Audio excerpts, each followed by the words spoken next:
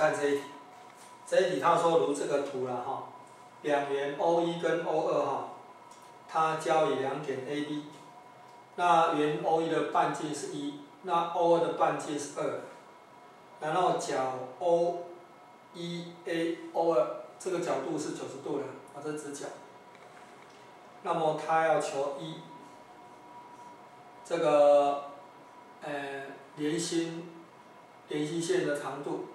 这个等于多少？那这九十度嘛，那根据毕氏定理，这个是等于一的平方加上二的平方，所以是根号。好，再来我们看看第二小题，它要求这个 AB 啊，好 AB，那 AB 的话哈，因为它这个上下对称嘛，所以 AB 哈是等于这个的的两倍。那我们现在来看哈。诶，这个三角形哈，跟这三角形相似啊。哦，为什么呢？因为这个有共同的角，就是说哈，我再把它画一个，这是直角哈。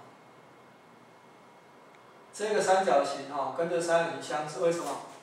因为这个三角形有一个直角嘛，这个大的三角形有个直角，然后这个小的三角形有这个角，大的三角形有这个角，所以就相似了，A 性质。那所以呢，这个角的这个小三角形这个角的对边，我就这一边啊，这个我叫做，呃，C 好了，我这叫 C 好了，我就 AC 啊哈，AC 呢比上多少呢？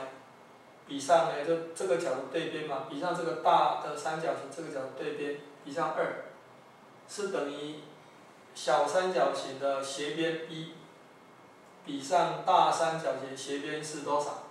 根号五，根号五，所以 AC 哈是等于根号五分之二。好，那 AC 呢是 AB 的一半嘛，所以 AB 哈是等于两倍的 AC，所以是等于多少呢？是等于根号五分之四，然后给它有理化以后，上下乘以根号就五分之四根号五。所以 AB 呢是五分之四根号。